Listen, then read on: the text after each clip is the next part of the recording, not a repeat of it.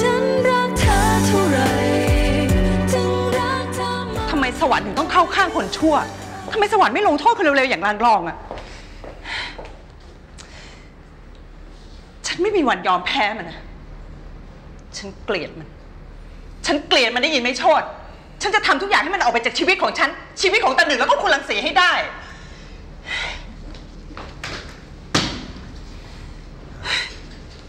คุณปานข อโทษนะครับ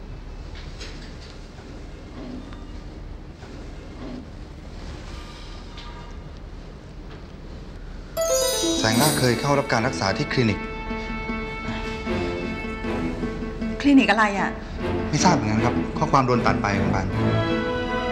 เรารีบกลับไปที่โรงพยาบาลอีกทีไหมฮะ กลับไปทำไม ไม่แน่นะครับ โชคอาจจะเข้าข้างเราก็ได้ฮะ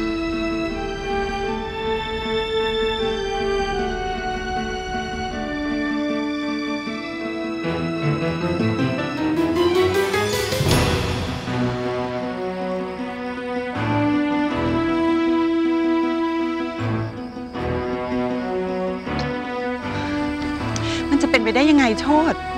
เราก็เห็นแล้วว่านางนาฏมันฉีกเอกสารทิ้งน้ำไปหมดแล้วอะแต่ขนาดเมื่อกี้นี่ใส่กระดาษยังติดที่คอเสื้อคุณปานได้เลยนะครับผมว่ามันน่าจะมีชิ้นอื่นตกเหลืออยู่แถวนี้บ้างอะ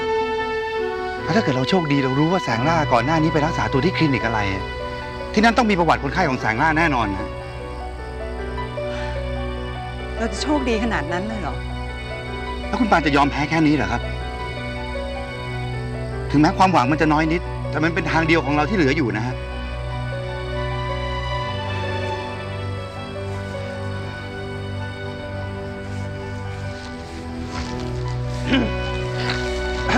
โชดพี่ครับโทษครับคุณโทษนะครับโทษเอ่อขอ ขอเราดูขยะในถุงคุณหน่อยได้ไหม ดูถุงขยะนี่นะ ค่ะเอ่อขอร้องนะคะพอดีเรากำลังหาเอกสารสำคัญอยู่นะคะ เอกสารสำคัญอะไรกันคุณ ในถุงเนี่ยมีแต่ขยะ ขอร้องนะครับ ขอเราดูเถอะครับ เอกสารนั้นสำคัญกับเรามากเลยนะ โอ้ยไม่เอาละคุณ เสียเวลา ผมจะรีบกลับบ้าน เดี๋ยวเดี๋ยวเอ้ยเดี๋ยวโอ้ยอะไรคุณหาเรื่องกันดีกว่า เดี๋ยวเดี๋ยวเดี๋ยวพี่ใจเย็นครับพี่พี่เดี๋ยวเดี๋ยวเดี๋ยวคนทำงานมาเหนื่อยๆอะฮะเอานี่ไป นี่นี่นี่อะนี่อะผมให้อะแล้วเดี๋ยวผมจัดการเอง ครับครับ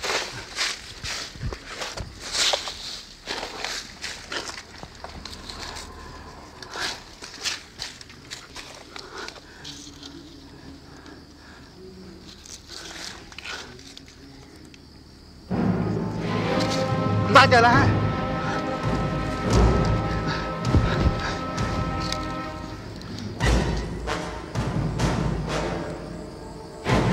นางสาวแสงล่า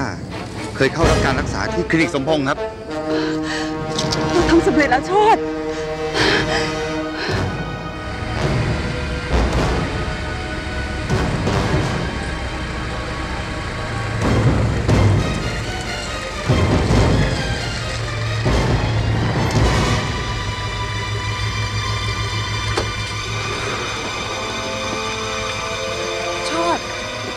ไงสมพงษ์คลินิก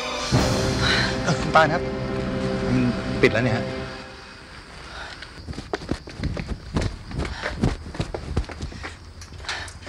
มีใครอยู่ไหมคะ คุณคะ มีใครอยู่ไหมคะ มีใครอยู่ไหมอะคุณปานครับ พรุ่งนี้คลินิกเปิด9โมงครึ่งครับ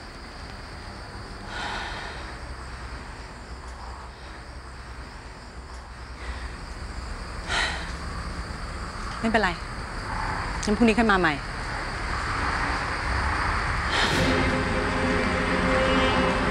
พรุ่งนี้ทุกอย่างจะจบแล้วรังดองจะต้องไม่อยู่ในชีวิตฉันอีกต่อไป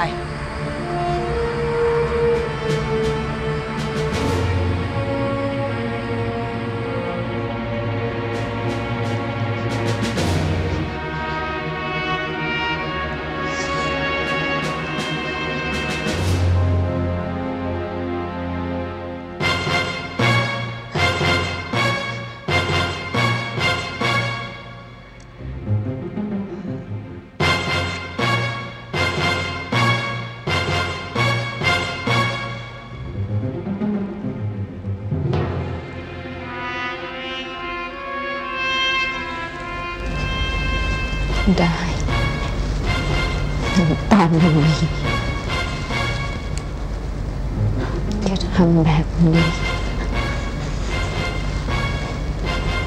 เราจะได้เห็นดีกัน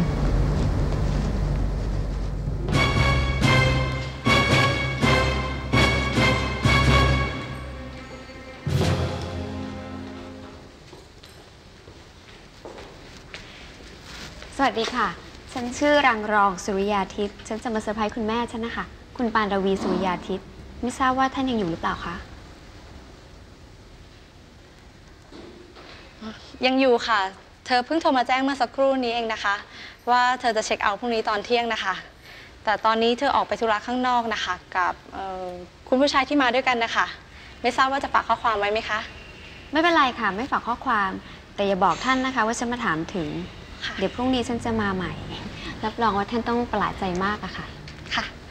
ขอบคุณนะคะ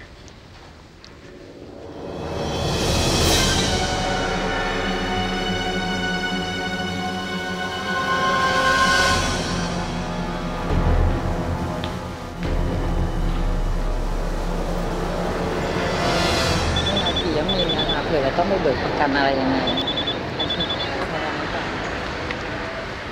ว่ายังไงครับ คุณรังรอง เพียงศูนย์ คุณต้องพาคุณพ่อฉันขึ้นมาลำปางพรุ่งนี้นะ จองตั๋วเครื่องบินเที่ยวแรกเลย คุณพ่อต้องมาถึงที่นี่ก่อนเที่ยง มันเกิดอะไรขึ้นล่ะครับ อยู่จะให้ผมไปรับคุณลุงรังสีไปลำปาง แล้วท่านจะยอมไปกับผมแล้วครับ เรื่องนั้นเดี๋ยวฉันจัดการเอง ท่านยอมมากับคุณแม่แค่นี้นะ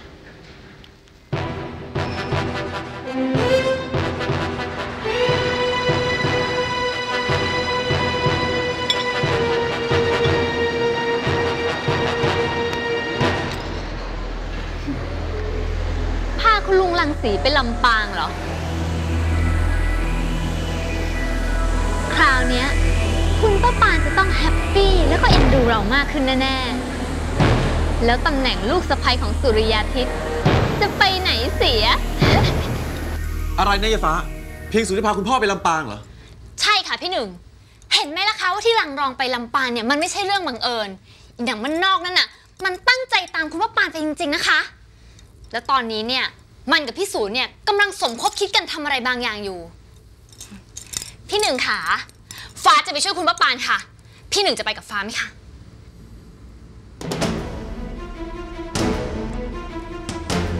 ไม่ต้องหรอกฟ้า เดี๋ยวเรื่องนี้พี่จะจัดการเอง